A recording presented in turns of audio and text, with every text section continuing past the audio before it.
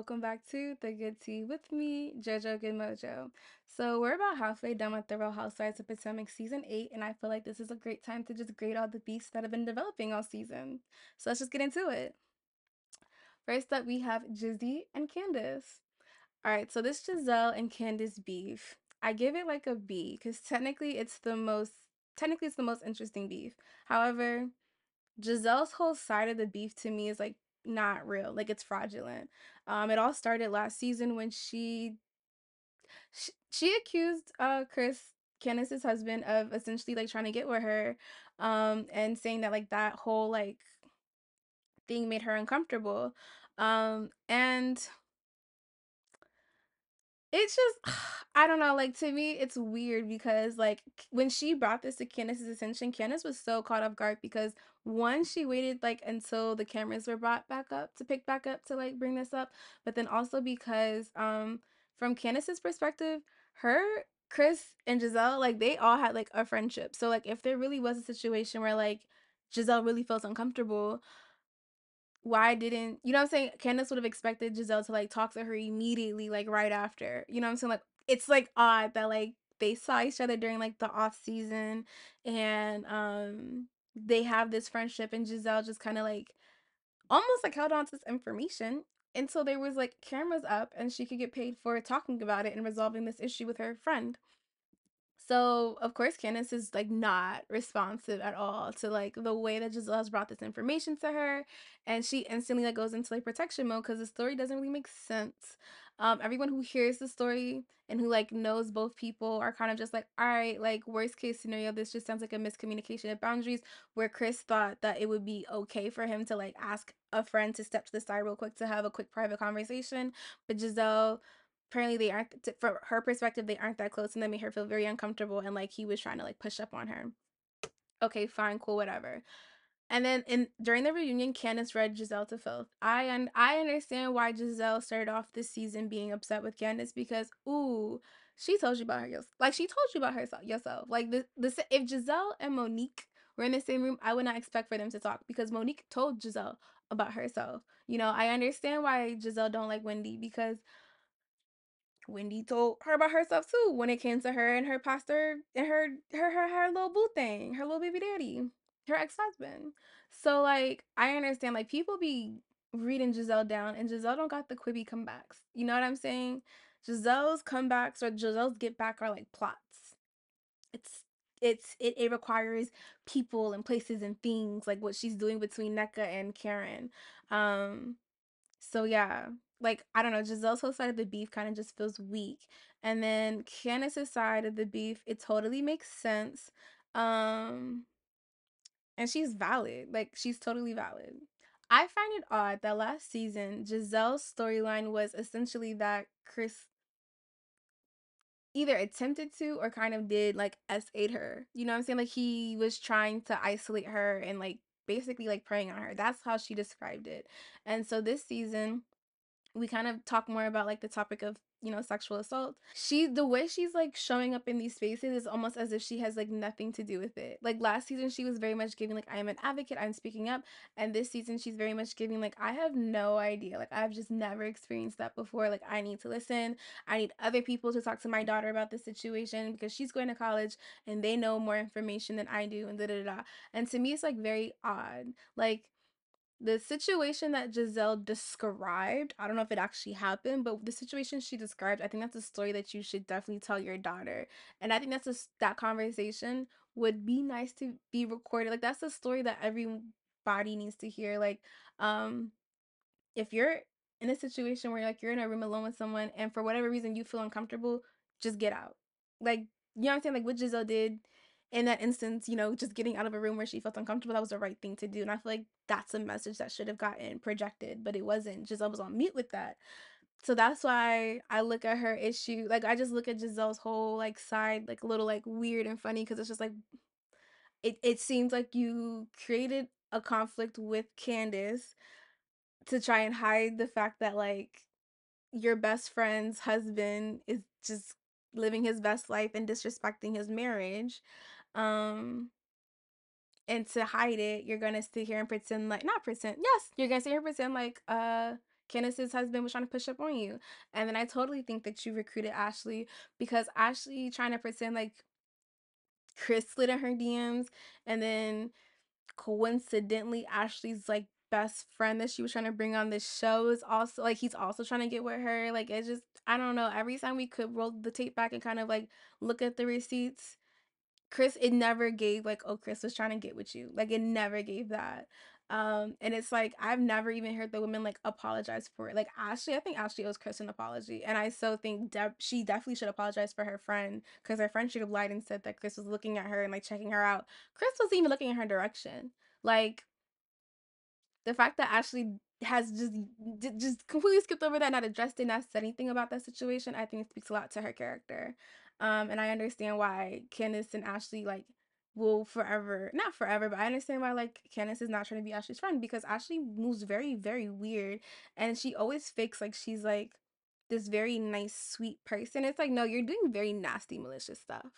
Like you I don't think you can be on reality TV for as long as you've been on and like truly be pure pure hearted and like have these like great intentions um especially the way you come at candiace is like crazy it, you are jealous of candiace that's very much what it gives um hmm.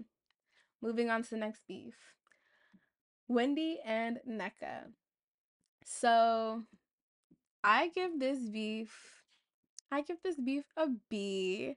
I okay, I'm low key team. I I love Nneka. I'm a huge fan of Nneka, but in this conflict, I'm definitely team Wendy because I completely understand Wendy's situation, and I feel like I understand the whole conflict. So I think this all arose because uh I think okay Nneka.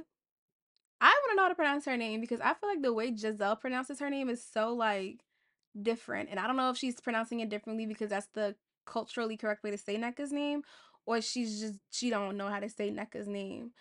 But yeah, so I think the way that Nneka got on the show is she moved to Potomac. I think she was very intentional about the zip code of the house that she moved into. Um, and I think she kind of shopped herself around saying that like oh she knew Wendy and that's like how she could be brought in on the show because I totally think Nneka makes great TV. Nneka should be on TV. I'm happy she's on TV. Um, but they had to make her presence make sense on TV. So I think she was saying like, "Oh yes, I know Wendy. Me and Wendy, like I and Wendy's my connection." And I think Wendy found out, and she was like, "I don't know this girl." Like no. And I think Wendy was like, "Actually no. Like I don't want her on this show. Like I don't want someone who I don't know claiming to know me to now be able to use this lie to be able to leverage a job and a platform like no you know what i'm saying like i totally understand that especially if she's asking around about nneka and she's hearing stuff um i understand why wendy was like no i don't want you on the show so that whole narrative of like that they like uh what's Gizelle and Ashley and Robyn try to like crack jokes like, oh, does Wendy want to be the only Nigerian on the show? Like, no, she just wants to like not have people on the show based off of her coattails, like riding her coattails type stuff. Um, so I understand why Wendy does not like Nneka. And I feel like because Wendy was not gonna like go like that and be like, oh yeah, I'll just like be your in for the thing, they had to have Ashley bring her in. And so now the only way to make Nneka's presence make sense is for Nneka to have beef with Wendy. And so that's where we get this whole like shrine thing. Like I truly believe that either I either it didn't happen or Nneka's blowing it out of proportion. Like I just the the, the storyline is ass. I I don't know. I give the the conflict a B, but I give like Nneka's storyline an E, an F. Like it's failing. It's not. It's no. And I wish she came on this show and she was like, I'm not picking sides. Like, you know, I like Wendy. I like Gizelle. I like everyone. Like, I wish she came on that type energy. Um, and then there would have been a natural conflict between Karen and Nneka because of the the whole zip code thing and because Gizelle is there. Like she did not need I wish she did not have that beef with Wendy because it's stupid. Um all right, Candiace and Ashley's beef. I'm Team Candiace. I don't like Ashley. I think Ashley's really weird. I think it's weird because I remember they. I don't. Hmm, I feel like Ashley kind of throws rocks and hides hands. I stopped being a fan of Ashley when that whole butter knife situation happened. Like Ashley and Candiace got into it at Ashley's house. I mean, no, Ashley and Candiace got into it in Candiace's house. Candiace kicks Ashley out. Ashley leaves. Gizelle goes, gets Ashley, tells Ashley to come back inside. Candiace says, No, get out of my house. Ashley says, No.